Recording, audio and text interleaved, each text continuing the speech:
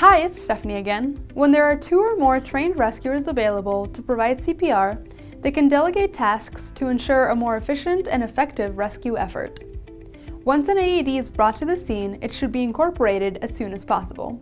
First, check scene safety and alert EMS. Send someone to go find an AED. Check your surroundings for combustible gases or standing liquids.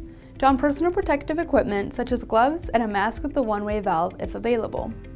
Then check for a response by asking the person if they're alright and tapping them on the shoulder. Look for signs of normal breathing and check for a carotid pulse simultaneously for no longer than 10 seconds. If there is no pulse, have one rescuer begin CPR.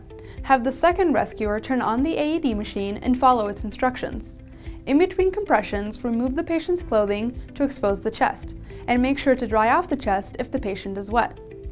Attach the pads as indicated on the diagram, one on the top right side of the chest and the other on the left side in the mid-axillary line just below the breast. Continue CPR for 2 minutes or about 5 cycles and then switch.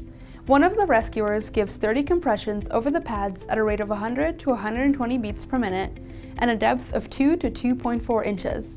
The second rescuer tilts the head and lifts the chin, then using the rescue mask delivers two rescue breaths, looking for the rise and fall of the chest. Try to minimize the time between compressions and getting the AED set up. This helps prevent brain damage due to lack of oxygenation. Only stop compressions long enough to get the pads in the correct location and when the AED advises you to do so. The AED will inform you when two minutes is up and reanalyze the victim. Follow its instructions and continue CPR until help arrives or the victim becomes responsive. This concludes proper two-person AED usage. Thank you for watching.